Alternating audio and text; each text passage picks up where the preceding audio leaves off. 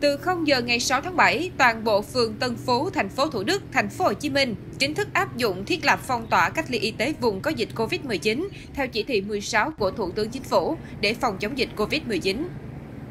Sáng ngày 6 tháng 7, ở các tuyến đường chính, đường hẻm nối với đường sông Hành xa lộ Hà Nội như đường 100, 120, 138, 144, 154, Nam Cao, các hẻm 50, 52, 80, 90, các tuyến đường chính, đường hẻm nối với đường Hoàng Hữu Nam như 179, 197, 215, 245, 249, 195, Cầu Xây,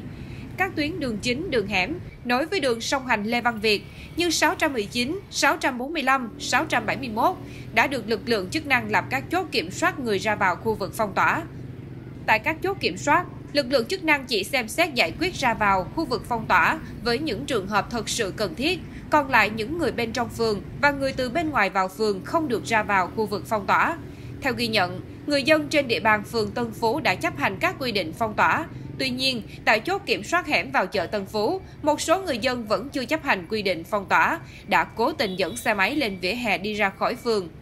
Cùng ngày, Ban Chỉ huy quân sự thành phố Thủ Đức đã tiến hành phun khử khuẩn xung quanh phường Tân Phú.